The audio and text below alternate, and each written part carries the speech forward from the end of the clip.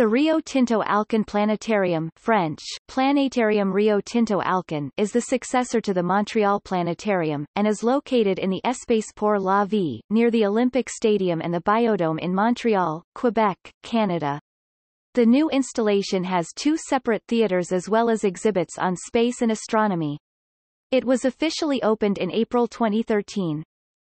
The building, designed by Cardin plus Ramirez et Associés, architects, is certified as LEED Platinum.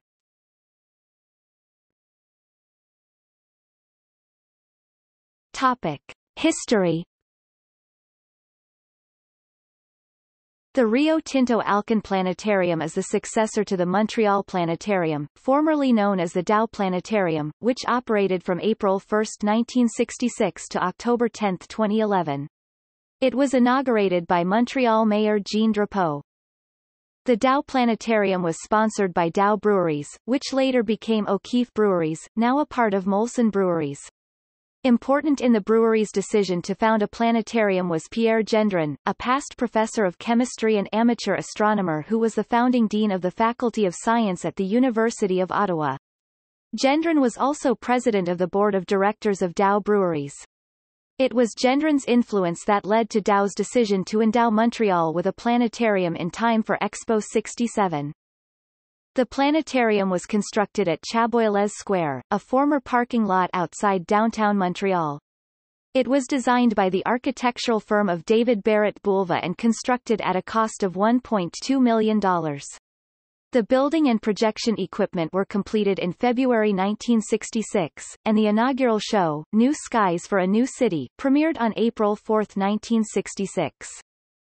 Between 1966 and 2011, some 6 million spectators attended over 250 original productions created by the planetarium.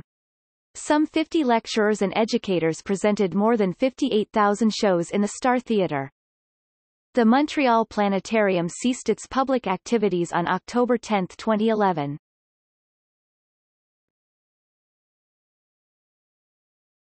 Topic.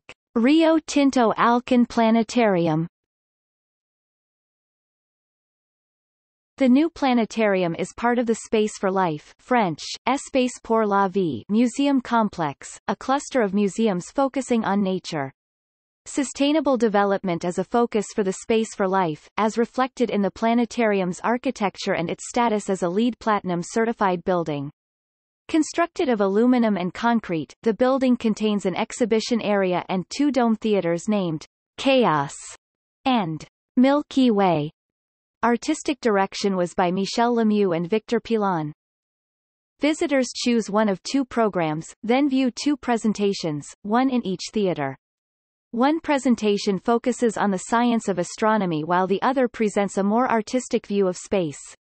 There is also an exhibition area with exhibits on meteorites and an area, EXO, which uses touchscreen panels to discuss the origin of life and the possibility of life on other worlds exobiology.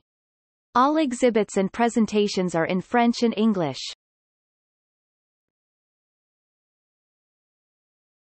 Topic. Shows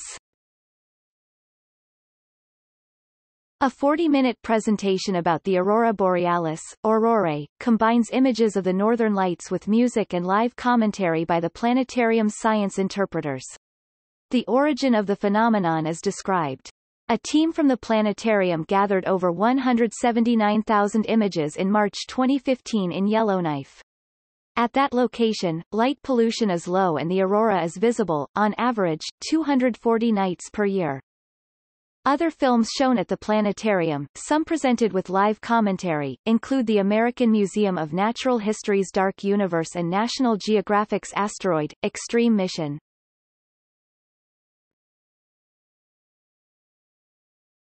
Topic. See also Nicolaus Copernicus Monument, Montreal Topic. External links. Rio Tinto Alcan Planetarium, official site